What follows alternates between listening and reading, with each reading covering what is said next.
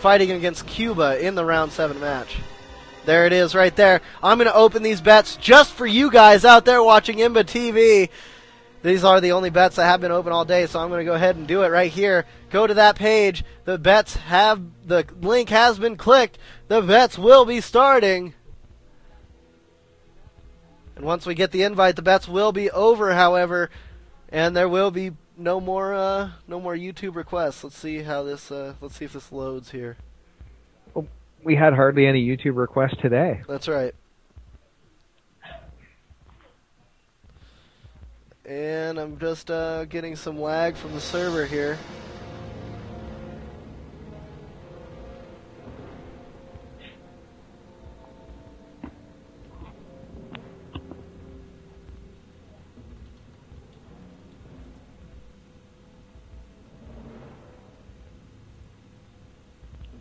Do you remember when Cuba was up to that final attack? Were his Zerglings at plus one or plus two?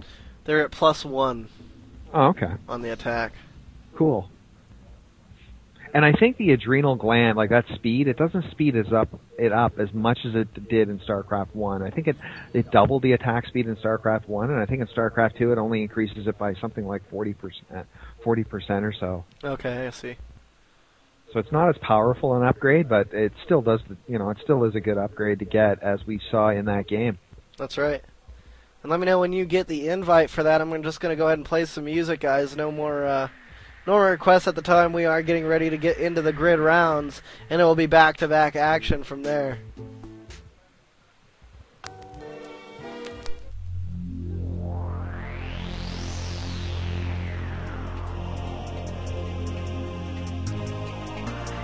Some people going all in on Thorazane.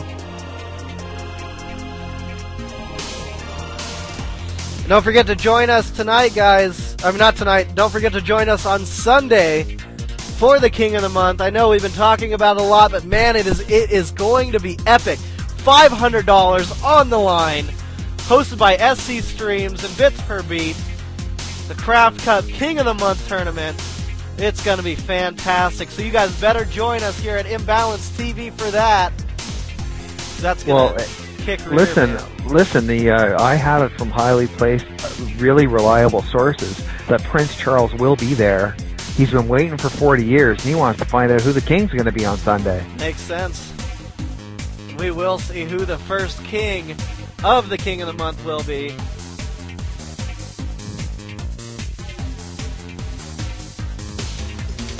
King King of the Month is in.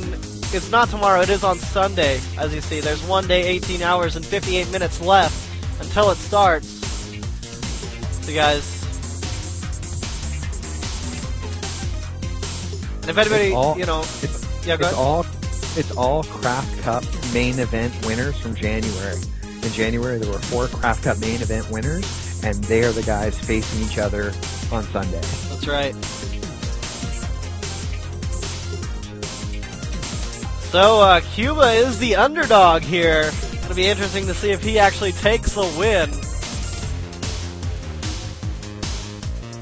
Every king needs a Zerg queen. Too bad there are no Zergs actually in the tournament True. for the King of the Month. It's, mainly Protoss. So I'm hoping it's going to be uh, quite awesome. Well, I hope Strelok wins in the first round. That's what I hope. Yeah. I don't mind one Protoss mirror, but I don't want to see three. For sure.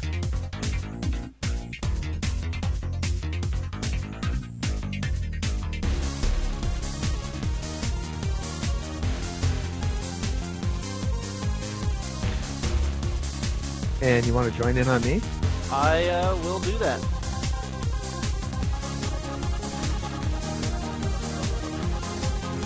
Here we go. We're in the game. We're ready to bring it to you here at Imbalance TV, where everything is Imba. And Thorazane will be right back. So at this point, we started off with 740 players. We're down. There's only nine guys left, and you're looking at two of them right here, Cuba and Thorazane. Now, I don't know much about the Prey team, but I know that Ricky Tan is on this team as well. That's why we're calling him Thorazane. Isn't that right, uh, MC Dust? Yes. That is correct.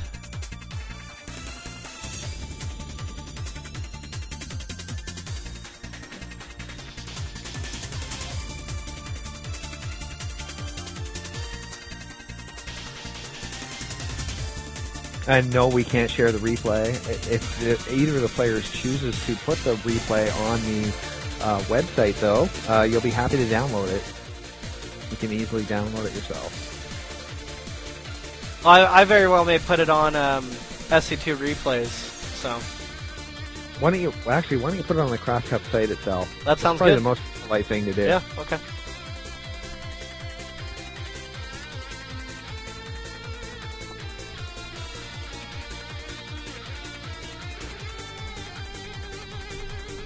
So we're going to be on Xel'Naga Caverns, and let's just, you know what? If we have enough, I don't know if we have enough time. I'm going to let's go through who's left. All right. Syz, Six Jacks Energy, no clue who that is. Hansy, never heard of him. Wizard Ethan, uh, we've seen him before. Uh, Goody, former Craft Cup winner. Nerchio, former Craft Cup main event winner. Control, and those are the seven players left. And then after that, we've got Cuba and Thorzain, and that's it for today's event.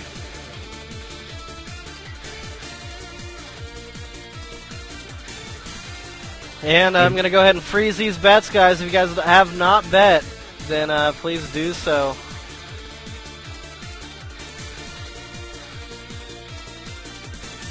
Those bets are now being frozen. I think we're ready to go.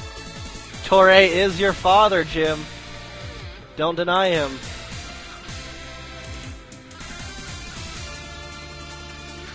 And yes, it will be on Xel'Naga Caverns. And you guys can join us at Imba TV on StarCraft 2.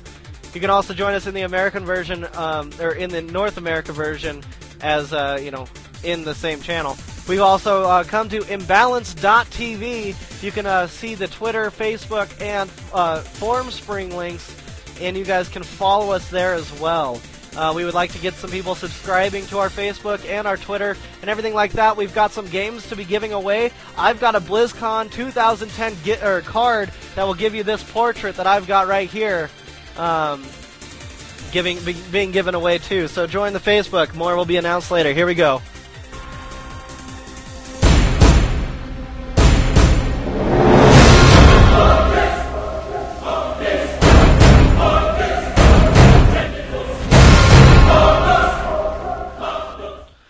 All right, everybody, welcome to Imba TV, where everything is in balance. We've got Cuba facing off Thorzain, and this is going to be a best of one match. This is the last round seven of the EU Craft Cup number 29, brought to you by uh, me, MC Dust, and Jim Rayner, as well as Torre working behind the scenes. Why don't you go ahead and take it away for us, Jim?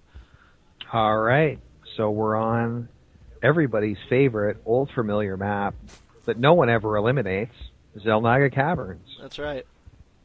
And there's nine players left in today's Craft Cup, and at the end of this game, there's only going to be eight left.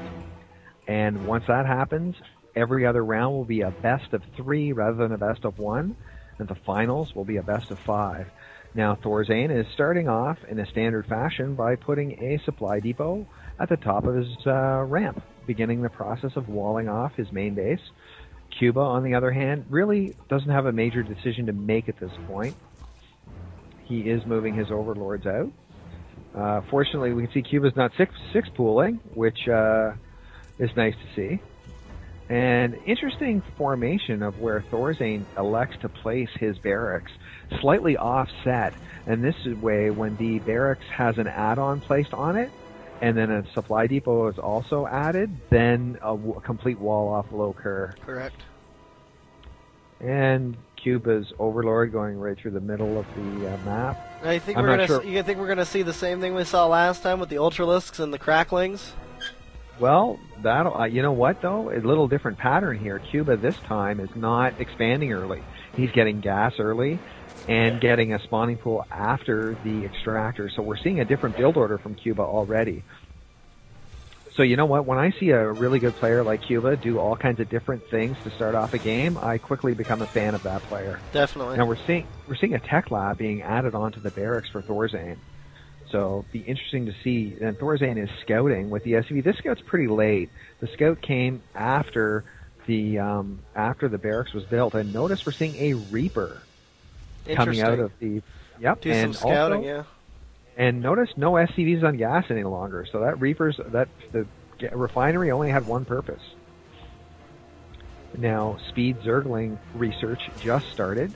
A queen is being produced, and even though the Speed Zerg research has been uh, has been researched, notice that Cuba keeps his drones on the on the uh, gas line and also builds a second extractor. So this is a good clue, clue that Cuba wants to spend a lot of money on gas. Could be roaches, could be banelings. We'll have to you'll have to stay tuned to Imbalance TV along with the millions of other fans and find out what's going on. That's right. And here we go. This Reaper is going to take some damage. Take out one of those lings. Sitting at 40 health right now. Let's see if that Reaper will be able to do anything. There is a Queen up here, and it, that Reaper has been found out about, so I don't think it's going to be able to do too much. If anything, it's going to be able to jump up on this Ouch. cliff and get Ouch. some uh, reconnaissance information. Tries to fly away, and it looks like he's uh, going to jump down the Oh, nice cliff. and trap. uh, yeah, Uh, but still, the it looks like the Reaper will live. It is faster than these Zerglings at this point. The Zergling speed research is just completing now. Let's see if the Zerglings come back after the. Yep, there we go. And they take out the Reaper. Now, if we take a look in the Terran base, while all that that went down, Thorzain built an expansion command center and a second and a third barracks, and elected to start mining from the refinery. Now, the first infantry upgrade selected by Thorzain is going to be Stimpack. Cuba has already teched up to a lair. Boy, he loves. Oh man, here comes the Spire and the expansion. This guy loves to tech. Man, that costs a lot of money for to throw down a Spire and that expansion, man. he he uh, he loves uh, that lair. I'll tell you. That's right. I like watching it. And so now, Speed Zergling will die. Nice counter scout by Thorzain. Now, I wonder if, um, at this point, I wonder if Cuba suspects an expansion because he's seeing nothing. The entire base is walled off, and and Thorzain has shown him no units at all. That's right. And three barracks are. Oh, uh, look at this! There's the Zergling right there to do the scout. There are three barracks on the field right now. Yep. All with both- two of them with reactors, one of them with the tech lab. The tech lab upgrading a stim pack, and uh, here comes the transfer as well as that uh, nice expansion. So what is what is Cuba thinking right now? He's got the he's got the spire. He's going to throw out some mutalisks and try to uh, try to run in there with a bunch of or fly in there with a bunch of mutalisks. But um, I don't know, man. There's a lot of Marines out on the field, and with they're Stimpack, they're going to be deadly. and they're pushing forward. That's right. And is combat shield being researched? Not yet. So he's going to have to just rely on Stimpack with no medevac support. This will be really fascinating to see how Thorzain micros these totally non-supported Marines. Lightning in a bottle right here is what he's trying to catch. Let's see if he can do it. And here come here come the Zerglings, and here come the Mutalisks, Ouch. taking Oh. out all of those Marines, Oh, only losing one Muta. for the love of Boxer, how could you let that happen, Thorzain? For sure. in any event, maybe he anticipated losing a lot of units because he has put up three bunkers. You know, sorry, two bunkers Well- and uh, the engineering bay. Now, Anyways, think- here comes a bunch of Zerglings and the mute and three Mutalisks. and the Mutalisks do a bit of scouting and back off. He's looking for an opening, basically, at this point. We're now nine minutes into the game, and one thing I will say, Thorzain has got